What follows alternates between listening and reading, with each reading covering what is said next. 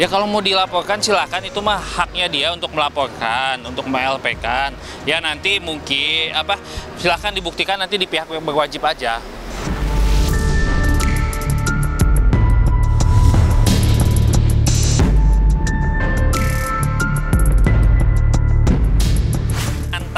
Mantan gua. Kan gua bilang mantan mantan gua di situ. Cuman karena orang itu langsung berpikir ke satu orang digiringlah opini ke satu orang terus gitu. Kalaupun merasa keberatan silahkan klarifikasi. Silahkanlah klarifikasi lah. Kenapa harus eh, merasa saya sudutkan gitu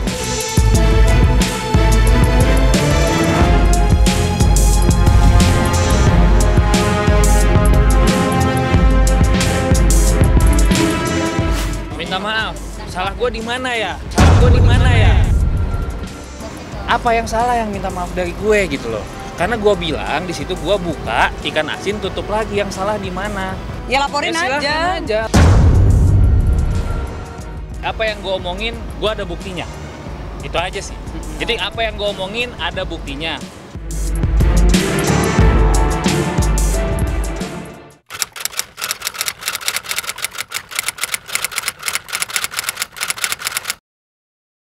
Jadi jangan lupa untuk subscribe Cumi Cumi.